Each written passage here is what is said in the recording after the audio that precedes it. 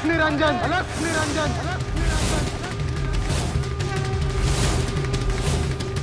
हे चुकीचं कृत्य मी कदापि होऊ देणार नाही. मी यांच्या आणि आमच्यामध्ये येऊ नका. हाताची शस्त्र घेऊन आला ती खाली ठेवा. नाही खाणार या ठाकिनीला मारणार हे नक्की.